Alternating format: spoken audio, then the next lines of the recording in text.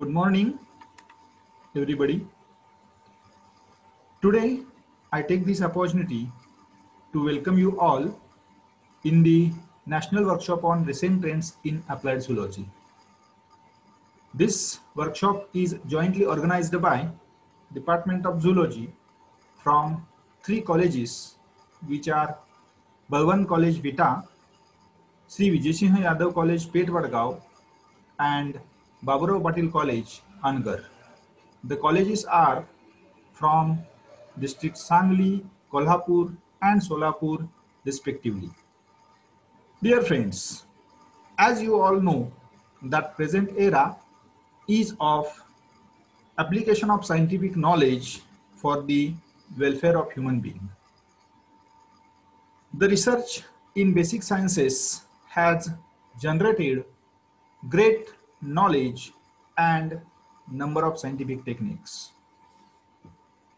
But very less efforts have been made to disseminate this knowledge for the welfare of human society.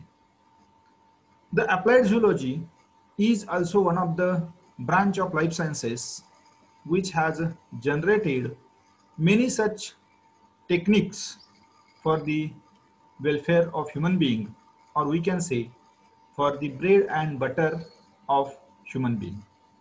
And hence three colleges the departments have made a little effort to give such a opportunity that this knowledge must be shared with the society.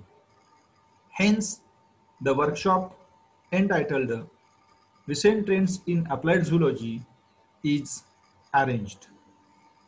Dear friends, I welcome all the resource persons for this workshop. The resource persons are Professor Dr. S.S. Patil, Dr.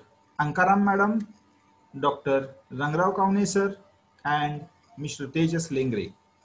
These all are resource persons from state of Maharashtra and they will deliver special lectures as well as one demo on the technique of applied zoology.